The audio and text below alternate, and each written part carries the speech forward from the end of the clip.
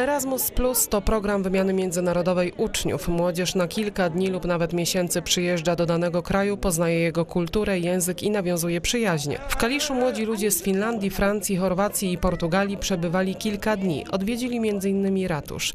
My z zagranicznymi gośćmi rozmawialiśmy m.in. o różnicach w edukacji i ich wrażeniach z pobytu w najstarszym mieście w Polsce. Szkoła, którą tutaj odwiedziliśmy, jest bardzo nowoczesna.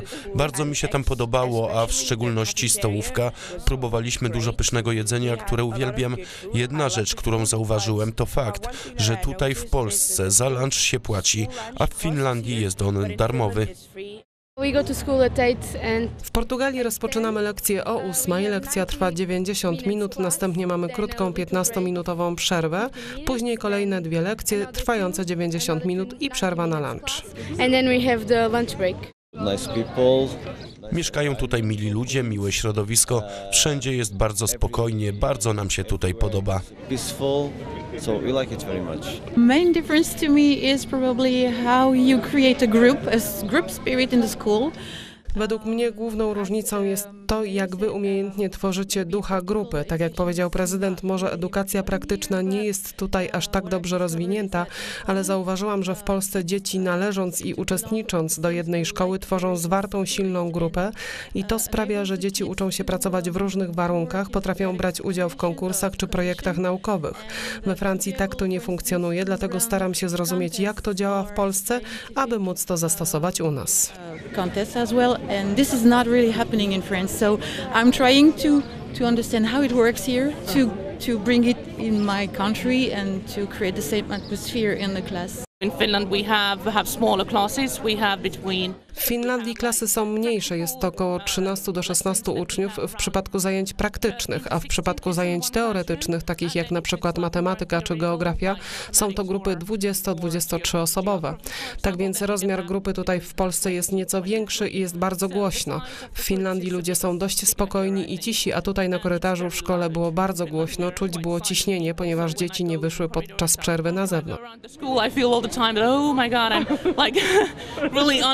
under a pressure because it's because the kids don't go out. Because we collaborated with this school in a previous project. Z tą szkołą współpracowaliśmy już w poprzednim projekcie, który stał się bardzo znany i otrzymaliśmy nawet dwie nagrody od Komisji Europejskiej. Dlatego zdecydowaliśmy się realizować nowy projekt i połączyć każdą szkołę poprzez tematykę związaną z odnawialnymi źródłami energii.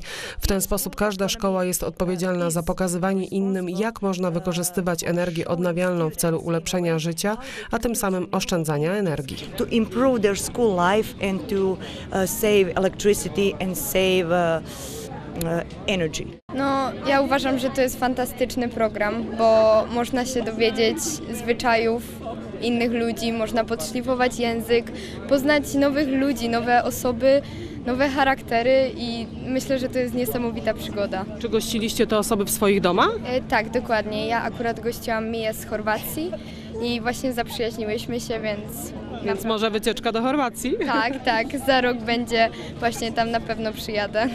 Dobrze, Kuba, a powiedz mi, y, jak, jak w ogóle odbierasz y, studentów z innych krajów i czy wydaje ci się, że ten, y, ta szkoła wygląda zupełnie inaczej w porównaniu z waszą szkołą? E, ja już byłem w Portugalii i tak, e, na Azorach na pewno e, szkoła była o wiele większa, ale Kalisz jednak, e, Kaliszy była ładniejsza. Nasza szkoła jest o wiele bardziej kolorowa i bardziej nowoczesna na pewno. Uczniowie także doskonalili znajomość języka angielskiego, no i przede wszystkim rozmawiali na temat ekologii, na temat odnawialnych źródeł energii, bo to jest główny temat y, projektu. Erasmus!